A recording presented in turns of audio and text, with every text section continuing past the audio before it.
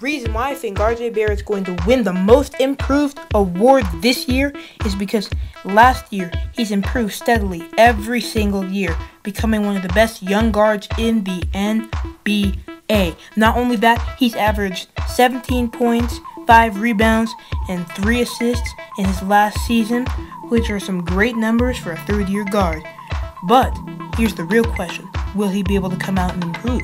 Well, because most young guards take a little bit more longer to develop, and now that Julius Randle has improved a lot, they'll have another person that the offense will be focusing on.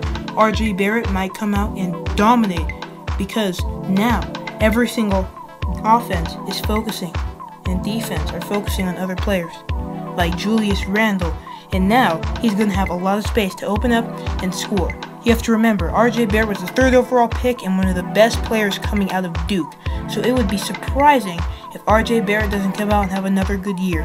Plus, he's been improving by quite a bit every single year, going from 14 points to 17 points, becoming one of the better scorers on a young, young Knicks team. If RJ Barrett steps up the way that he could, that he can this year, the Knicks might be a new, new scary team for the East because They'll have Julius Randle, who's good on offense and a decent defender, who's a first time All Star this year and second team All NBA player, and an RJ Barrett, who can be an All Star and is a great talent for all other teams in the NBA to have to look out for.